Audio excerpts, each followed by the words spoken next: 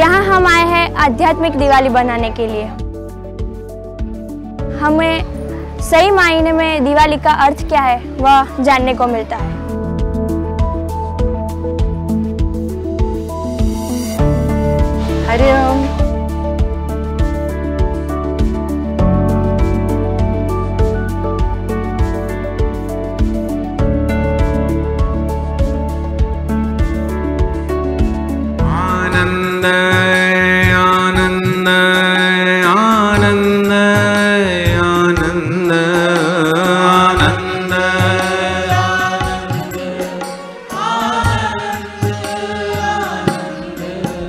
यहाँ का सात्विक वातावरण मुझे बहुत पसंद आता है।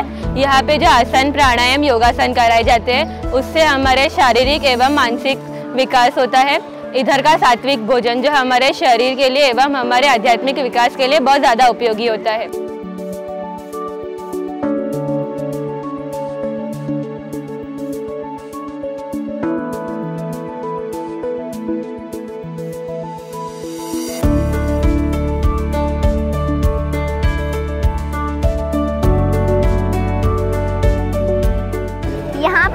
पर ध्यान सिखाया जाता है।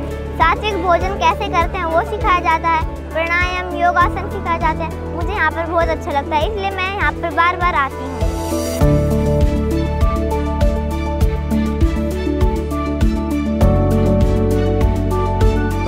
भाई दूज भाई और बहन के प्रेम का द्योतक है।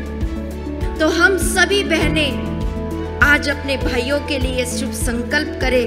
और सभी भाई अपने बहनों के लिए शुभ संकल्प करें। प्यारी बहना मुश्किल है कहना दुख दर्द का ये राज गहरा। ॐ स्वस्ति न इंद्रो वृद्धश्रवाः स्वस्ति नः पूषा विश्ववेदाः। स्वस्ति नस्तारक्षो अरिष्टनेमि स्वस्ति नो बृहस्पतिर्दधातु। फिर से